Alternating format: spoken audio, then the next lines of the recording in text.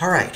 When we think about the CASP, it is the um, CompTIA Advanced Security Practitioner exam. What exactly is this exam? Because again, um, now some say that it rivals the CISS. Excuse me while I adjust this light over here. Some say that it rivals the CISSP. Um, I wouldn't say it rivals the CISSP. I would say it is its own test and take it for what it is. The CASP is a exam that is more specialized. This is for the individual who doesn't want to be in management but rather wants to continue the role as a technical cybersecurity expert and they want to stay technical. Okay, they don't necessarily want to be in management where the CISSP does cover some managerial principles. Okay, so here we are. Advanced level cybersecurity certification for security architects and senior security engineers that are charged with leading and improving an enterprise's cybersecurity readiness. Now, one thing I really did like about the CASP was, again, it was very technical. Um, unlike other certifications, CASP covers both security architecture and engineering. Okay, they go on to say that it's the only certification on the market that qualifies technical leaders to assess cybersecurity readiness with an enterprise and design and implement the proper solutions. Organization. Okay, I don't want to bore you out there, but um, okay. So it's saying it's the most up to date and advanced level cybersecurity certification on the market. Okay. Um, covers cloud, hybrid environments, governing risks, does uh, covering compliance skills, so on and so forth. So here is the issue that I feel is not up to par with the CASP, and it has nothing to do with the test. Okay, I, I believe CompTIA is an exceptional certification uh, company. All right. I think their material is spot on. They always updating their tests. In fact, the last Security Plus test is I think 40% more comprehensive. That is the 601, by the way, which I also um, have. I think it's like 40% more comprehensive, very up to date. And that's, I think, they began that last year. The previous one was a 501.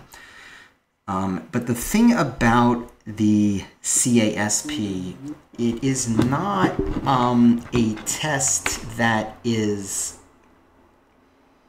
um, very ubiquitous. It's not a test that human resources is really that aware of.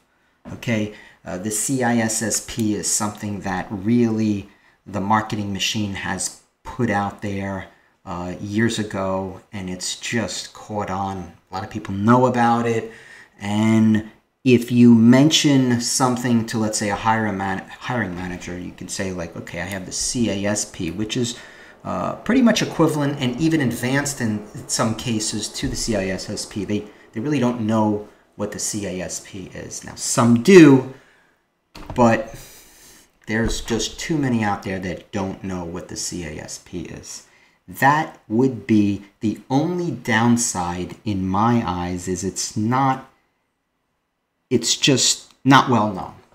All right.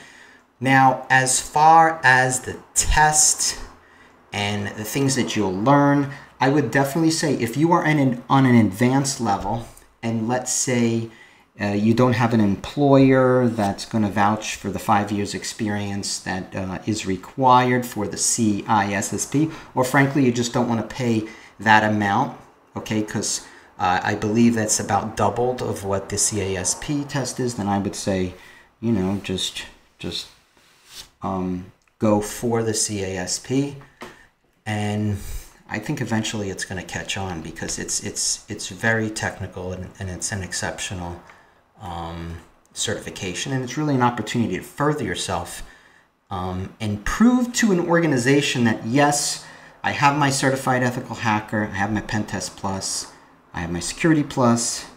Um, let's just say, give an, an example, um, and I also have my CASP. So it's showing, yeah, you have all the basics, but wait, you went a step further to get that advanced certification. So that's why I like it.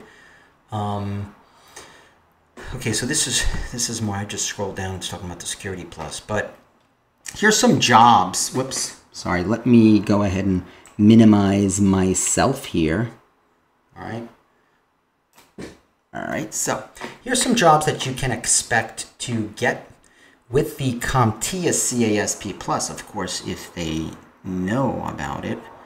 Um, SO SOC Manager, Cyber Risk Analyst, okay, CISO, um, Security Architect, and a Cybersecurity Engineer. So definitely um, on the a lot is um, touched on the area of designing infrastructure, uh, creating a, a, relevant infrastructure um, to match the risk and basically establishing that defense, even from a hardware standpoint. So, hardware and software, it's kind of giving that individual the fundamental knowledge and testing them on that necessary to kind of set up the whole shebang of an organization from a security standpoint. So, absolutely uh, very technical. Um, I think it's very rewarding if you get it, providing the hiring manager or your current employee knows about um, the difficulty to obtain this certification. So that's all I'm going to um, touch base on.